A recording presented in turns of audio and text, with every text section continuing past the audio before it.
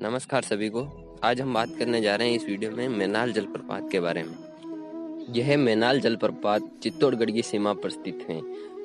मैनाल पुरातात्विक एवं प्राकृतिक सौंदर्य के रूप में जाना जाता है। यहाँ एक मंदिर भी है जो महानालेश्वर मंदिर के नाम से जाना जाता है।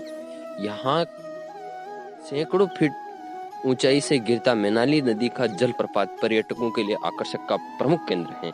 यह मैनाल जलप्रपात तीन धाराओं में विभाजित होकर ग्रेनाइट की पट्टियों के ऊपर से गुजरते हुए करीब 400 फीट गहरे दर्रे में समा जाता है। देखते हैं यह दृश्य ड्रोन के नज़ारे से।